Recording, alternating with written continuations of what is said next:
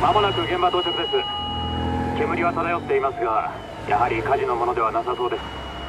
発煙筒か何かいたずらによるものと思われます。本部了解。一応現場での確認をお願いしま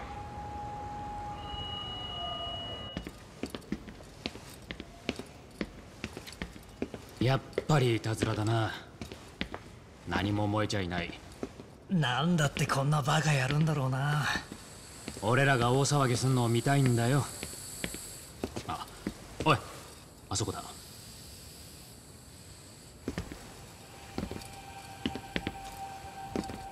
これって。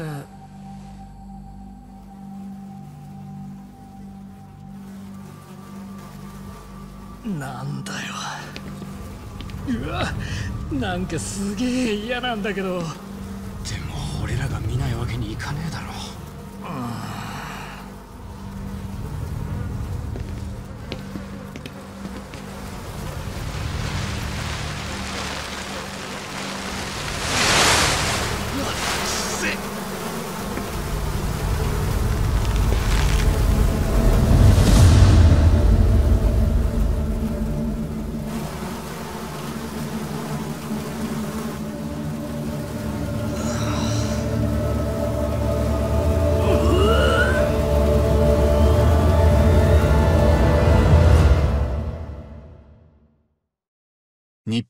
事裁判はその99.9%が有罪となる。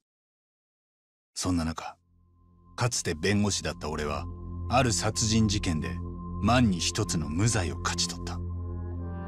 大したもんだと褒められた。けどその結果一人の女の子が殺された。法廷の取りこぼした真実の陰で。万人に公平なはずの法がいつも完璧に機能しているとは限らない。そんな時助けを求める声を探すのが今俺の仕事だ。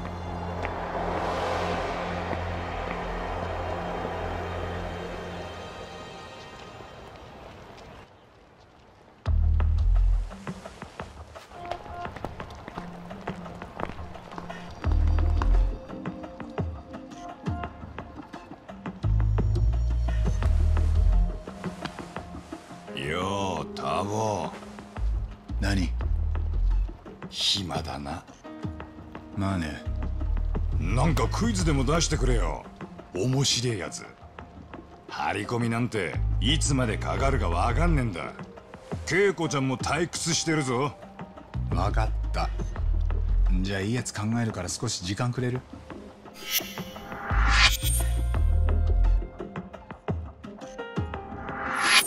なるほど。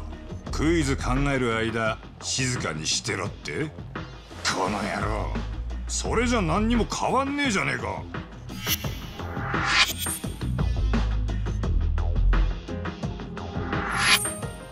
あのカイトさん。私も今クイズとかの気分じゃないです。いやだからその気分を変えようぜってんだ。恵子ちゃんな。そんなんだからネットで会った男なんかに騙されんだぞ。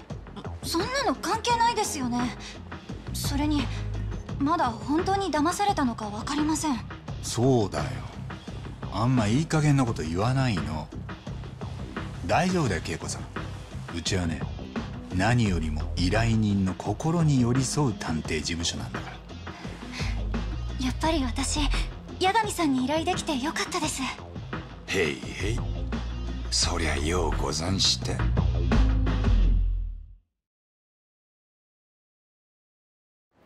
康介くん言ってました。お昼はいつもファーストフードばっかりだって。ああ。さっき店に入ってから20分ぐらいかそろそろ出てくるんじゃない？どうですかね。心配です。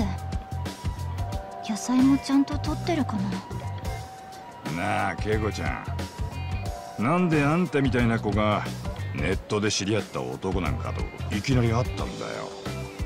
いきなりじゃないです。時間をかけてやり取りしたし康介くんは同僚なんかよりずっと私を分かってくれました私のことすごく大事に考えてくれてたんです。そんな男がデートでぼったくり店に連れてくか？カムロ町で。きっと彼もそんな店だなんて知らなかったんです。そうか？だとしても女の子に会計全部押し付けるとかありえねえだろだって彼まだ大学生だし。それにもし私が払わないと彼ヤクザに殺されるって。恵子さんが店に請求されたのが120万。で80万は払って残り40だったよね。どのみち簡単に払える額じゃない。ええ。だから康介君も足りない分は風俗で働くのが一番手っ取り早いかもって。そうじゃねえ。要するに康介とそのぼったくり店は初めからグルだったんだ。で女の子に払えねえ額ふっかけてしまいには風俗で働かせる。この町じゃよくある手口なんだよ。まだそうと決まったわけじゃないです。だいたいカムロ町はなんでそんな店をほったらかしにしてるんです？ぼったくりには警察も動き鈍いからね。民事不介入っつってでもだから源田先生に相談したのは良かったと思うよ。あそこの弁護士事務所カムロ町長いから。で荒っぽい案件はうちに回ってくるわけだ。おかげで今日も仕事にありつけた。よかったですね。恵子ちゃんには気の毒だがよ。康介って野郎は全部承知であんたを罠にはめたその辺分かってくんなきゃ。助けようにも助けらんね。えなあそうだろ？タボ。まあ待ちなって海藤さん。まだ調査の段階だよ。あほら。噂の康介君だ。康介君。まずは彼が実際どんなやつなのか。後をつけてみよう。二人はここにいて。やっと楽しい時間の始まりだ慎重になタボ聞こえるなタボ尾行は久しぶりだろう。腕がなまってんじゃねえか？まさかちゃんとお手本見せてやるよ。口だけじゃねえだろうな。ここは慎重に行こう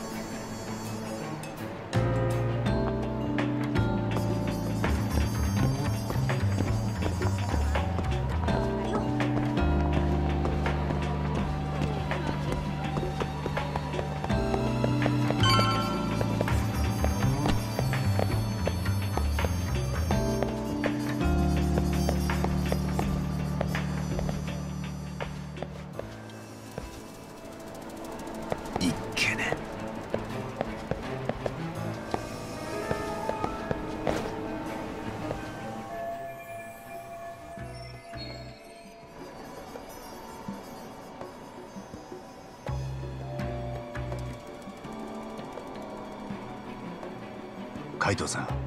対象者が新顔と接触した。これから証拠を撮影する。了解だ。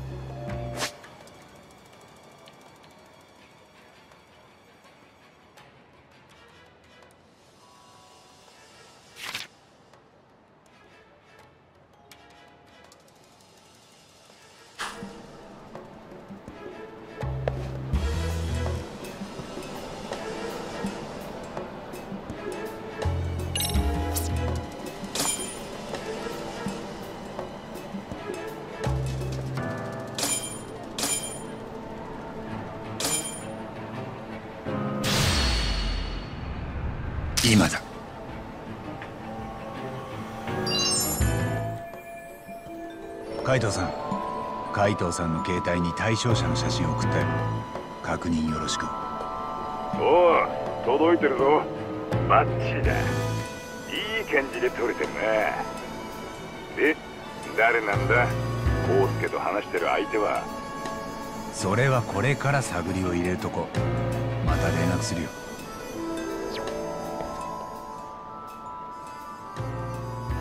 いやーでも本当久しぶりだよね。さくらちゃんと会うの。だってコウスケ先輩最近全然サークル来ないから。今日だってたまたま先輩っぽい人を見かけてメッセージ送ってなかったら会えてないですよ。ごめん最近忙しくってさ。なかなかサークルに顔出す時間が作れなくて。予定があるなら仕方ないですけどやっぱり先輩なしでは盛り上がらないというか。先輩が来なくなって辞めちゃった女の子も多いんですよ。え？それはまずいな。今度ちょっと顔出してみるか。そうしてもらえると助かります。あでも先輩。何？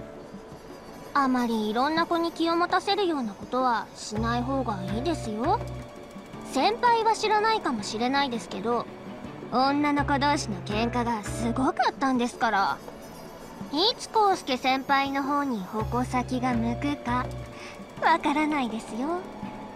え？それは怖いね。気をつけるよ。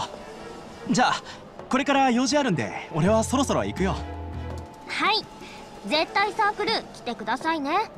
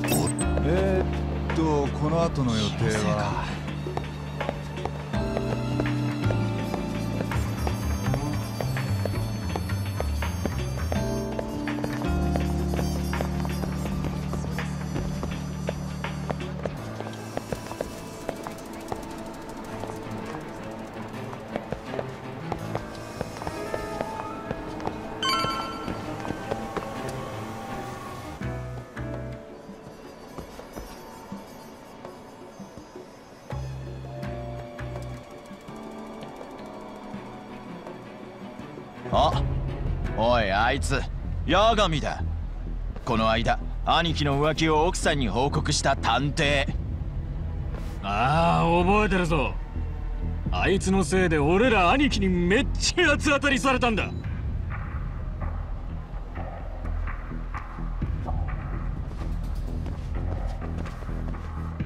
おい八神てめえぶっ殺してやる。ここでやったが100年目だ。やれやれ相変わらず物騒な街だね。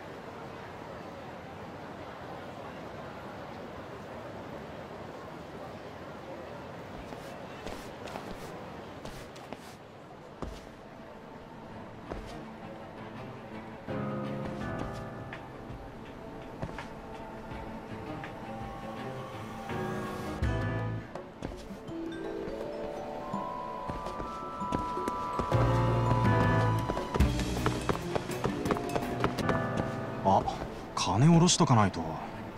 ポッポに寄ってくか。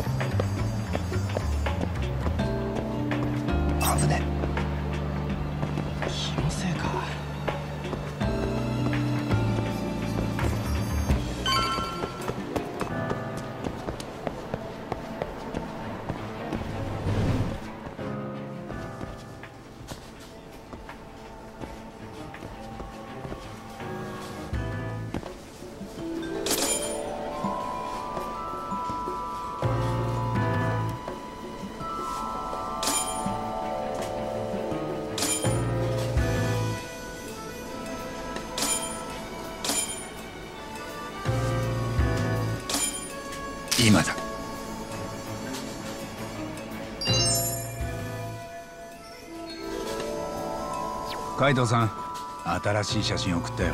確認よろしく。おお届いてるぞ。よく撮れてるじゃねえか。あ？こりゃあなあタボコウスケの野郎やっぱ黒なんじゃねえか？奴が下ろした金まあまあの額だぞ。いやまだ金を下ろしただけだ。判断するのは早いよよ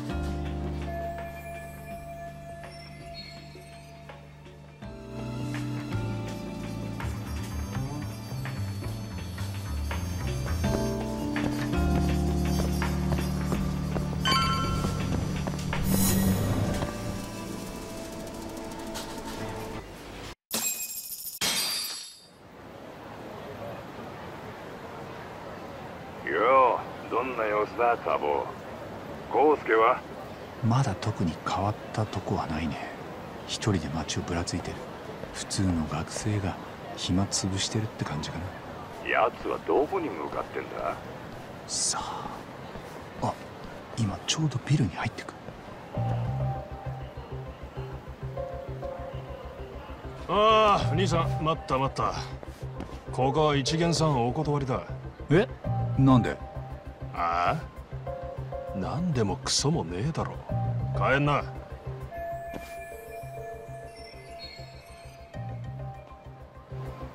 おら何やってんだ。早く行けって。この野郎通報すっか。ちょっとそんな。このビルって何なんすか？関係ねえだろ。出てけっつってんだ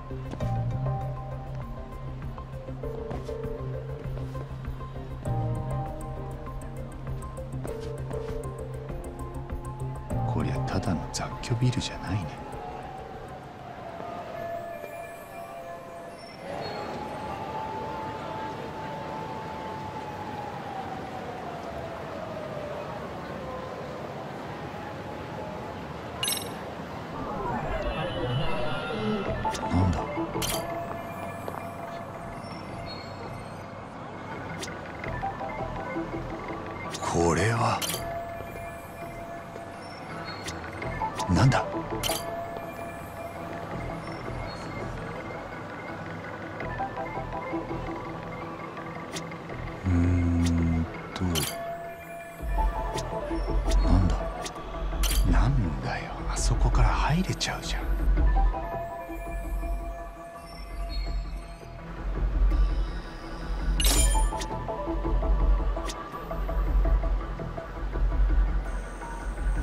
こ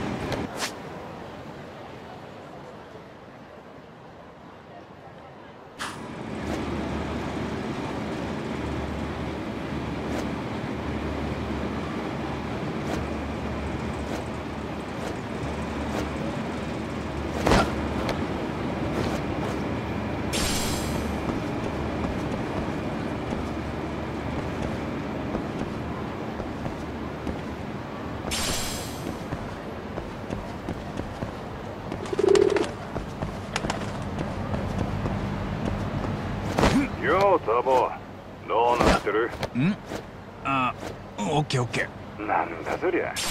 コウスケはどうなった？まさか見失ってねえだろうな。ー今ちょっと手が離せないけどとにかく大丈夫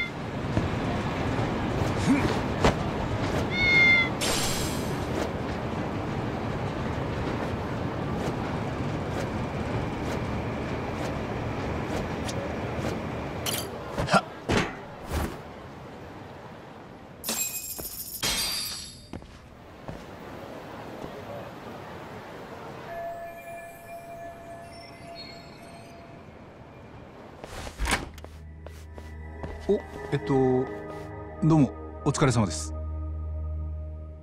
おいこいつ知ってるか？いえ初めて見る顔っすね。俺はその康介のダチなんですけどちょっとはぐれちゃって。コウスケの？はあそういやあいつ今日も来てましたよ。マジで毎日懲りねえっつうか。なら誤解のはずだろう。なんでこんなとこにいんだよですよね。それが俺にもよくわかんなくて。ところで康介は5階のどの辺に？階段上がって一番奥。敷の間だろ。敷の間。ああそうでしたよね。失礼しました。ではこれで。おい待て。お前ちょっと会員証を見せろ。康介にもらってんだろ。あああれ？おかしいな。どっかに落としちゃったのかな 落としちまったか。そりゃ困ったな。すいません。次から気をつけますんで。いい加減なこと抜かすんじゃねえバカか。会員証なんてねえんだよ。てめえ何者だ。どっから入り込みやがった。この野郎。やってくれんじゃん。敷の間ってのは何なの？康介君はそこで何してんだ？うるせえ。黙ってけ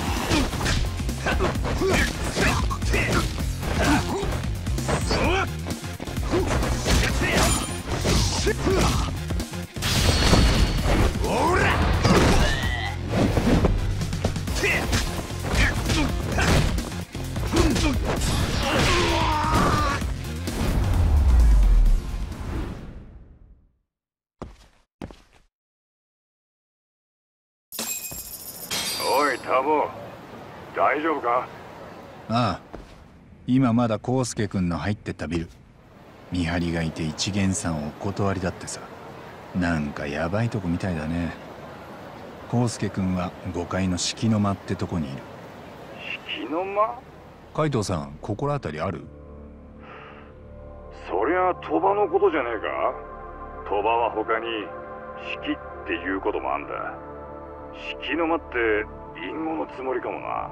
そっか確かに鳥羽なら見張りがいるのも納得だ。さすがだね海藤さん。わからねえことがあったら何でも聞けや。侵入者だ。ビルに怪しい野郎が。なんだと。おいどうした？おい！タボそこが秘密の鳥羽なら普通の学生が行くとこじゃねえ。どうやら康介のボロが出てきたな。だいぶグレーにはなってきたね。多分康介君のいる式のままで行ったらもっとはっきりする。結論はそれまでお預けだ。仕事に妥協がないね。わかった。だが気をつけろ。そんなとこで捕まったらただじゃ済まねえぞ。了解。よし行くか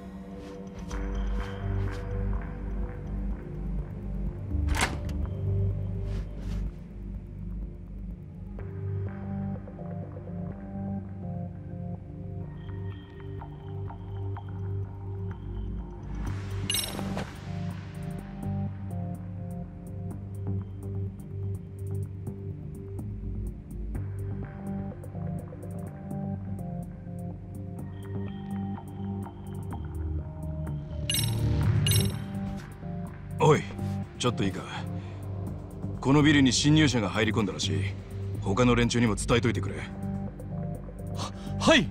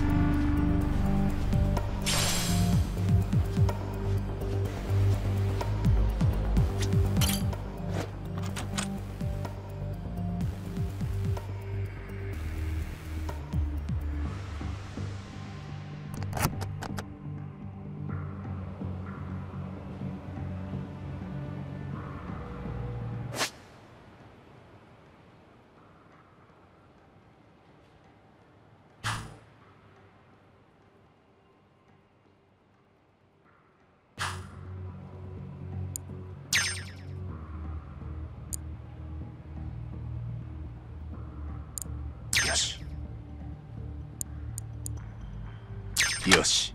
開いた。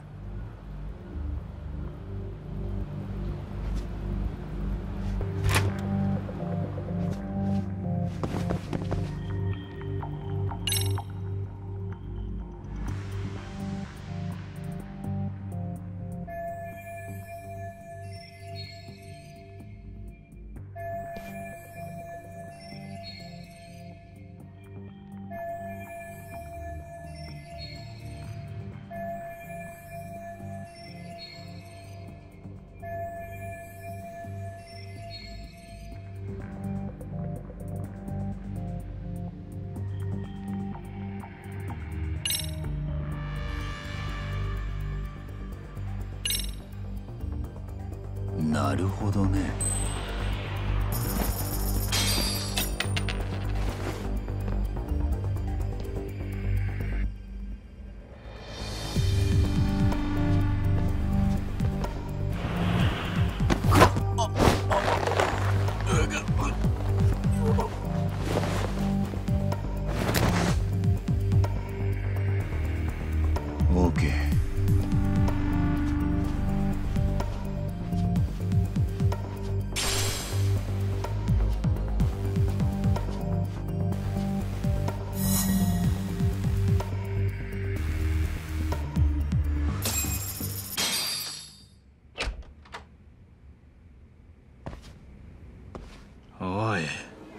してんだ。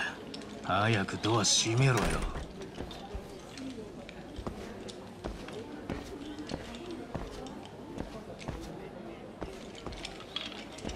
くそー全然来ねえ。なんでいつもどうなってんだよ。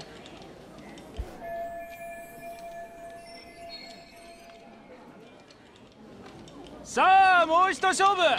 皆さん張った張った張り切ってどうぞ。さあさあさあさあ。おい康介。さっきから負けっぱなしじゃねえか。今日はそろそろ終わりか？いやいや全然。まだまだこっからっすよ。へえ景気いいな。どっからそんなに金が湧いてくんだよ？いや最近ちょっと太いしのぎ始めたもんで大きな声じゃ言えないっすけどまた女絡みのか？声が大きいですって。生言いやがって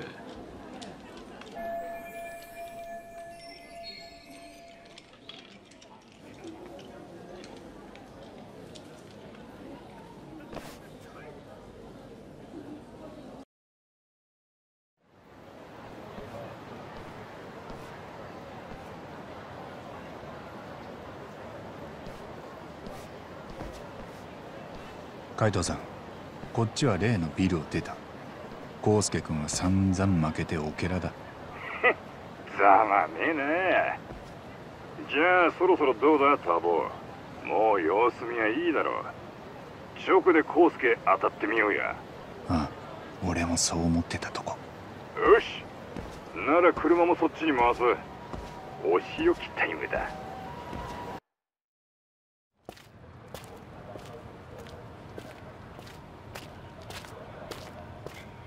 ああちょっと。お兄さん。落とし物。あ？落としたって何をです？何をってまあいろいろあるんじゃない？両親とか罪悪感とか。どっかに落としてきちゃったでしょ。あ？なんだよてめえ。最近罠にはめた女の子がいるよな。ぼったくり店とつるんで120万の会計を追っかぶせた。何の話かわからねえけど。どの話かわかんないぐらい何人も騙してる？誰だお前。こっちはバックに登場会がついてんだ。それでも因縁つける気か。登場会ってあのヤクザの？ビビりやがって。もっと相手見て喧嘩売れ！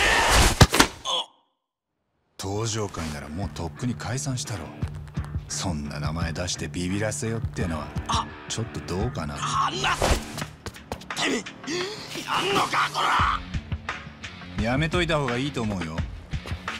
さっきのパンチで大体分かっちゃったから。ふざけんな！さっきは手加減してやったんだ！本気出したら瞬殺だぞ！後悔しても遅えお前待って知らねえぞ！分かったよ。じゃあこっからは本気なんだな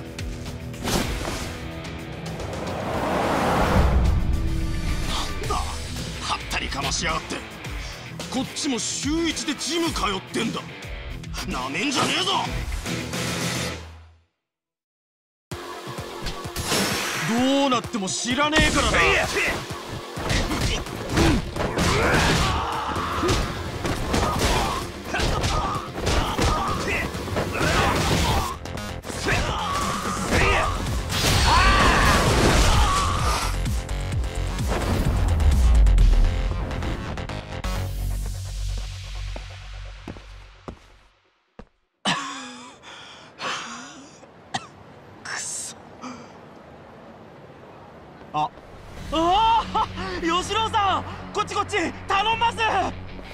してんだ康介。なんか揉めてんのか？ここいつが変な言いがかりつけてきたんすよ。へえあんた何なの？こいつはさうちの大事な客なんだよ。大事な客か。式の間のでしょ。なんだとおいそいつは俺の知らねえやつが知ってちゃいけない言葉だぜ。どこで聞いあんたらに用はないんだけどな。ムカつく野郎だ。やっちまうぞこら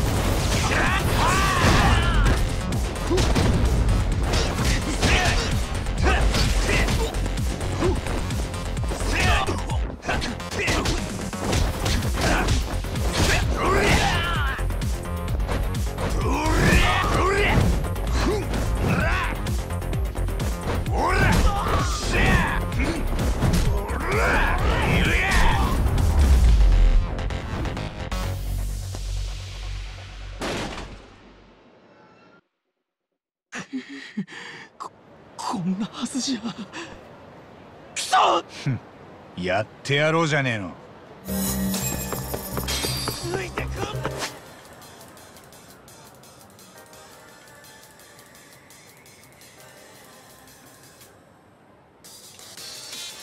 待て。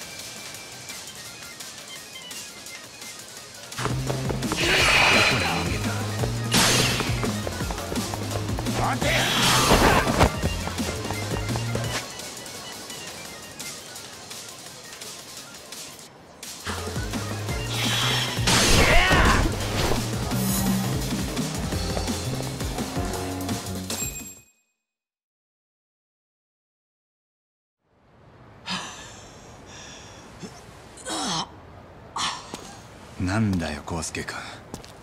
もう終わり。お前には呆れるなタボ弁護士のくせに。結局手出して済ましちまう。弁護士？嘘つけ。どこがだよ？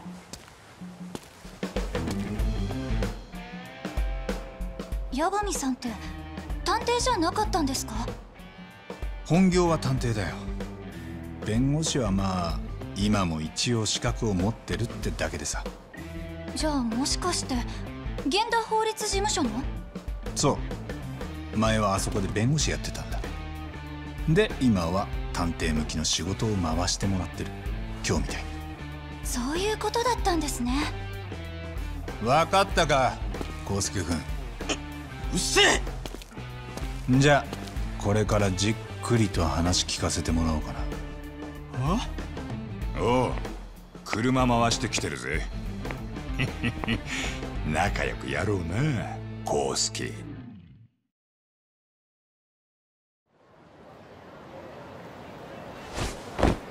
あちょっとマジかよあんたら。こんなのやめてくれよ。なんか誤解してるって。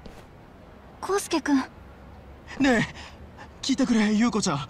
俺何にもしてないからさてか何なのこの人たち。優子って誰？私恵子だよ。え？あれ？嘘でしょ？もう信じらんない。康介君さ恵子さんにかかってる店の請求あれチャラにしてもらいたいんだけど。そんなの俺に言われても。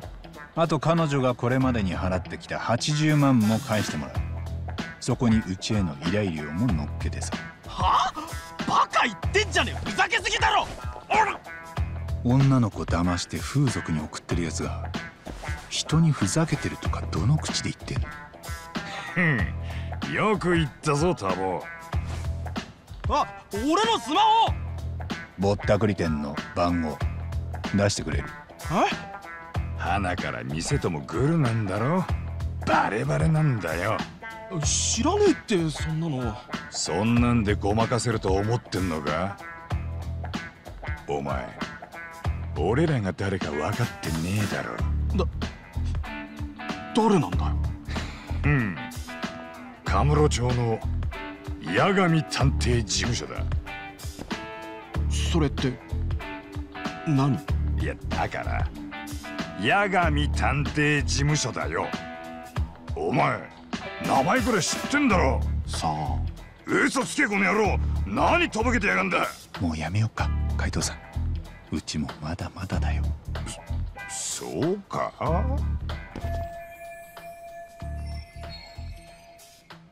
あんたら悪いことは言わねえ。店に金返せなんてやめとけ。あそこの店長は同商会の寿司もんなんだよ。だからどうした？ちなみに俺も昔は東上会の人間だ。もう本家が解散しちまったのに何が東上会だよ。だから解散するまで東上会にいた人なんだって。ならただの元ヤクザじゃねえか。未練たらしく大門ちらつかせやがって。元でも相手はヤクザなんですよね。大丈夫なんですか？もちろん。うちはそっち系に強いのが売りですから。でどれがその店長の番号なの？でもさっさと済ませた方がいいよ。こっちの元登場会も怒らせたらマジでヤバいから。なんなら試してみるか。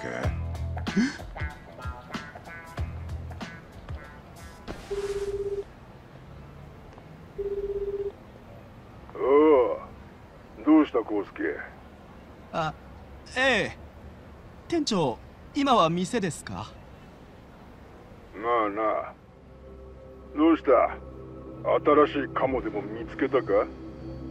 お前最近いい調子だもんな。いいえそんな。違うのか？じゃあ例の稽古って子はどうしてる？あれはどこで売っても稼げるぞ。いい具合にビビらせて逃げねえようにうまく囲っとけ。最悪でも店長あの子がもし金を用意してきたらその時はどうするんです？ああ？そんなの決まってんだろまず持ってきた分はきっちりいただく。で延滞料が足りねえとか適当な理由つけてそのまま風俗へ直行だ。なるほどな。お前なんかいつもと声違わねえか？おさすがよく気がついたね。何？誰だてめえ？この声よく覚えときな。後でそっちに行くからさ。恵子さんが払った金全部返してもらいにね。うわこれ超やべえって。気の毒だけどやっぱ康介君は最初からグル恵子さんがいくら払っても結局は風俗で働かされる。そういう計画だったんだ。あの恵子さん初めは確かに仕事でした。でも今は本当に君のことを。あもう黙れってお前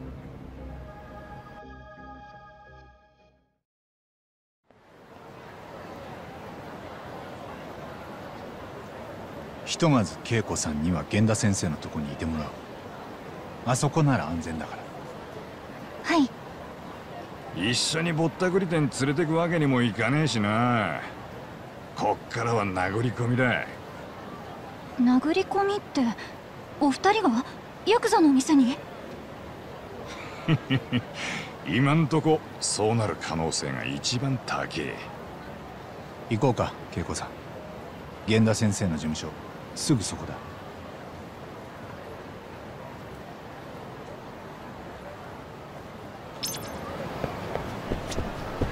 そっち？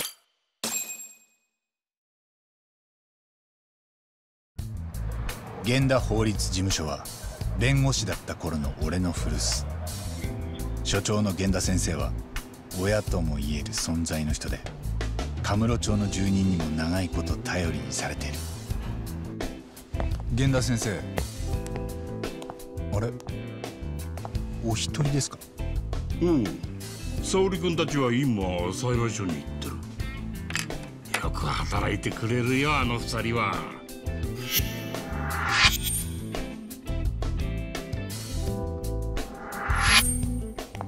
お邪魔します。ああ。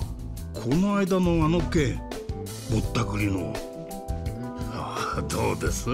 八神の仕事ぶりはどんな案件でも全力投球するのがこいつの取り柄なんですよ。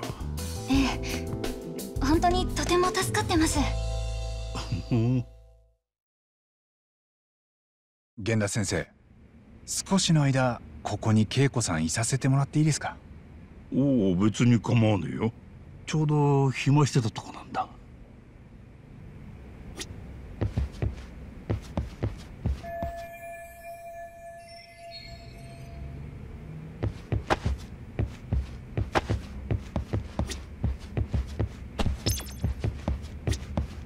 私のことなら大丈夫です。しばらくここにいればいいんですよね。ああすぐに型をつけてくるよ。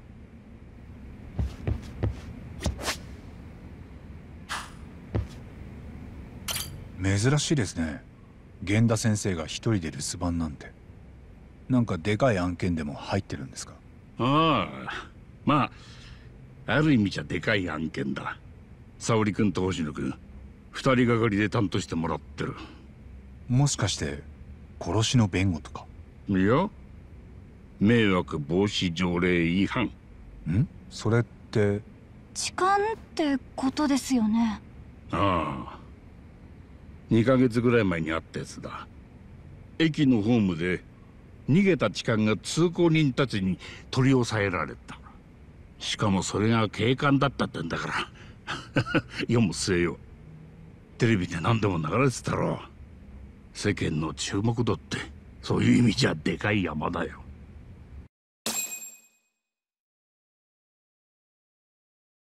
ああそういえばありましたね。ネットで炎上してたやつ。確か通勤ラッシュの電車も止めちゃって。ひどかったですよね。警察官のくせに。今日その判決が出るんだがまあいい結果じゃねえだろうな無理だっつってんのに被告人が記憶にねえの一点張りでよ。なん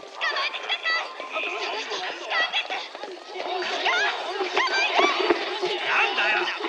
やってない違う博士って誰か駅員呼んで早くこの人電車の中でずっと触ってきたんです。スカートの中。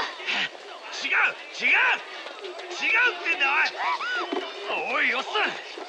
痴漢ならな手の成分とか調べりゃすぐにわかんないよバカ野郎。やめろ。おい何撮ってんだ。ふざけんなこの野郎。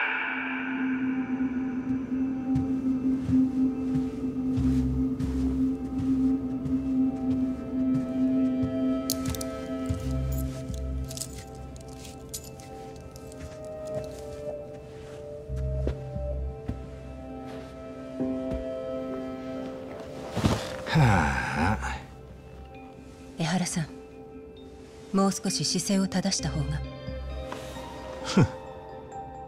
その態度でいいことは一つもないです。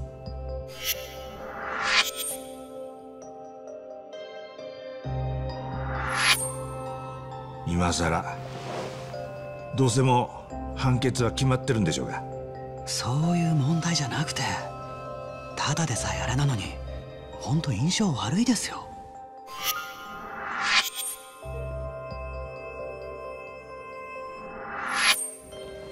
印象が悪いか。じゃあ裁判長も有罪だと言い渡しやすいですねきっと。やけになってどうするんですか。まだ決まったわけじゃ。決まりですよ。有罪で。それはつまり全ての準備が整ったということだよ。え？さてここからが本番だご起立ください。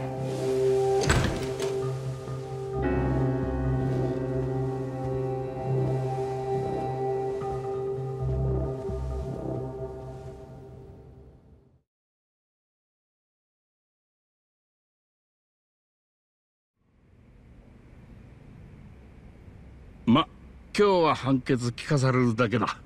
だから沙織君一人でいいんだけどよ。星野君が僕も行きますって聞かねえもんだから。沙織さんの役に立ちたいっていうか少しでもいいとこ見せたいんでしょうね。でも沙織君にフォローのいる場面なんてまずねえだろう。現実は厳しいな。ところで現役警官の弁護ってなんでここで受けることになったんです？おお最初はよその弁護士が担当するはずだったんだ。カムロ署の御用達って先生がなまあその時素直に罪を認めてりゃ依願退職と示談で不起訴になったかもしれん。不起訴？無罪ってことですか？まあ釈放はされちゃうね。今の話だと警察の首とセットみたいだけど。ああところがだ。その警官は無実を主張するって聞かなかったんだよ。証拠揃ってんのにな。結果カムロ署御用達の先生はサジを投げまあその時たまたま当番弁護士だった沙織君へとお鉢が回ってきたんだ。そういうことでしたか。興味あんのか？いや少し待ってりゃ二人とも帰ってくると思うぞ。いえ俺はまだ仕事がありますからそろそろ。また新しい依頼いただけるんならいつでも。相変わらずの貧乏症か。少しのんびりしちゃどうだい？仕事が趣味を兼ねてるんです。好きでやってることですよ。まったく聞きやしねえな。じゃあ恵子さんのことお願いします。外に海藤さん待たせてるもんで